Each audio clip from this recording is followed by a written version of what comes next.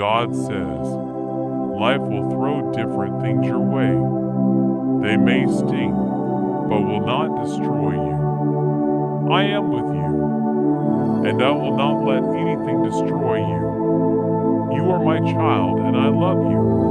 We together will get through it. I know you don't understand so much that's happening right now. There are so many things going on around you that you are confused.